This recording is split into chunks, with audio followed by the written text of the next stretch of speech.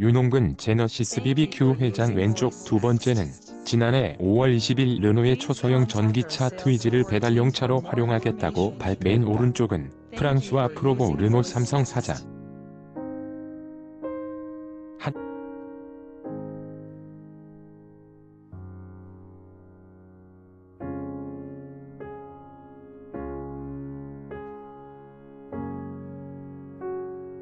트위즈가 스쿠터보다 안전한 데다 대기 오염과 소음이 적기 때문이라고 설명했다.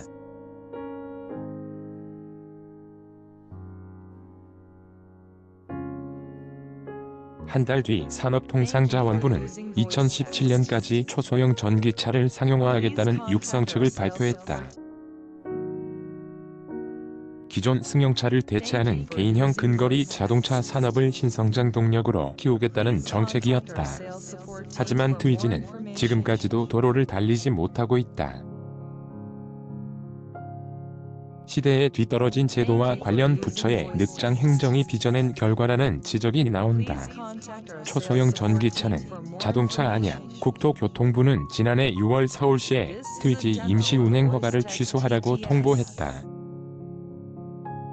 트위지가 자동차 관리법의 차종 분류 기준에 어긋난다는 이유였다. 현행 자동차 관리법은 자동차를 승용차, 승합차, 화물차, 특수차, 이륜차 등 5종으로 분류한다.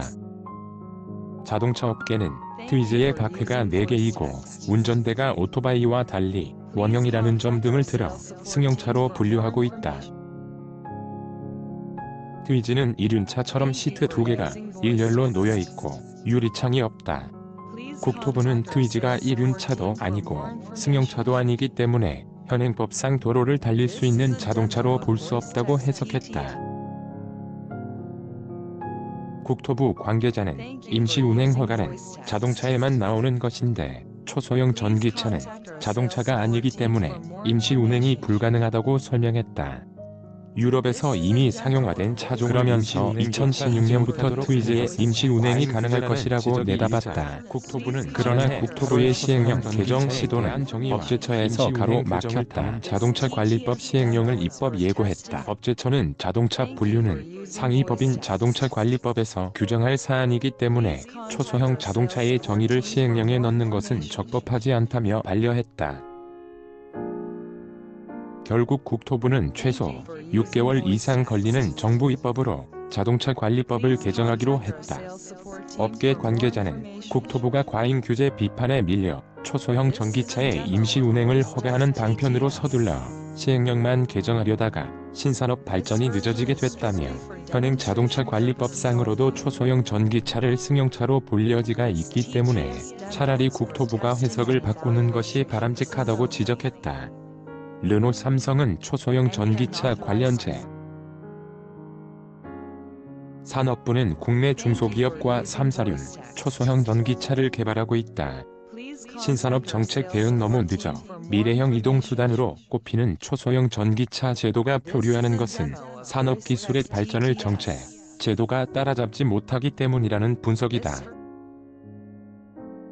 자동차 종류를 5종으로 규정한 자동차 관리법은 1987년 입법 이후 30년 가까이 유지되고 있다. 박준환 국회 입법조사처 연구관은 초소형 전기차와 자율주행차 등 새로운 교통수단이 빠른 속도로 등장할 텐데 정책 대응 속도는 너무 늦다며 이런 논의는 최소 5년 전부터 이뤄졌어야 한다고 국토부가 초소형 전기차 임시 운행 허가를 내주지 않은 이유로 승용차보다 안전성이 떨어진다는 것을 내세운 데 대해 업계에선 이륜차보다 안전하다는 점은 무시한 것이라고 반박했다.